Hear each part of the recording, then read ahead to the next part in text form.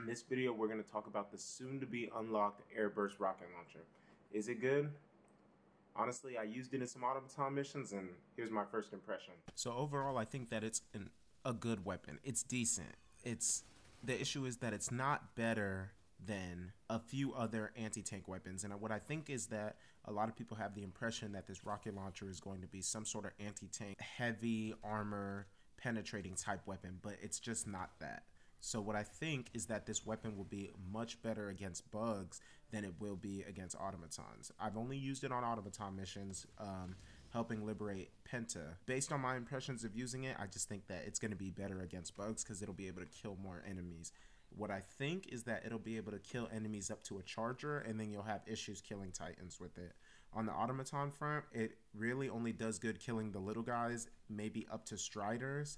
Um, and then besides that, it's it, it just depends, I guess, on how you use it or what you support it with. In the game, I had no issue killing little guys, but I had tons of issues killing my friends and myself with it. Based on the AoE damage, I will say that it has probably the second best AoE in the game. Only second to Orbital Stratagem itself, the Orbital Airstrike. That's the only thing I think that has the best AoE in the game, but in terms of a weapon, it does have the best. It's a huge explosion radius, and I ran into that issue time and time again um, fighting bots on Penta because I would think that I was in a safe enough distance away and shooting far enough to away, but what would happen is I would end up killing myself or my teammates. Overall though, it does do good in terms of killing the little guys, but in terms of armored guys, let's say there was a group of five or six of them and I would shoot the the airburst rocket launcher at it and it would maybe kill one of them. Also, what I noticed, I could have been doing it wrong,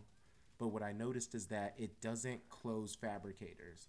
Um, I was better off using impact grenades or something like that um, to be able to kill or take out the fabricators. This airburst grenade rocket launcher doesn't take out fabricator or it doesn't take out uh, dropships.